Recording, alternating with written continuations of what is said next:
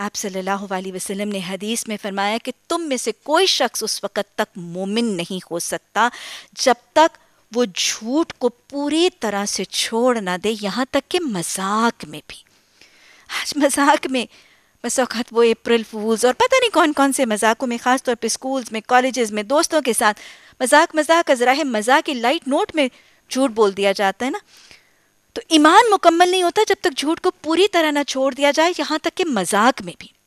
सूरा फुरकान की आयत नंबर 72 में तो अल्लाह सुबहाना ताला ने मोमिनों की सिफात जहाँ बताई है, वहाँ पे एक सिफ्त क्या बताई है?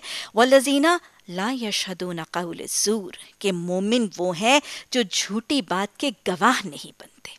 क्या मतलब है? दो मानी आएँगे।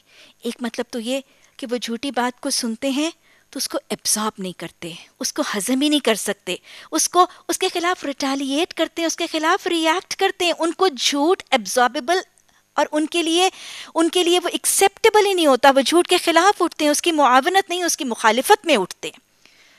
और दूसरा ये कि वो झूठ के गवाह नहीं बनते, वो झूठी गवाही नहीं देते।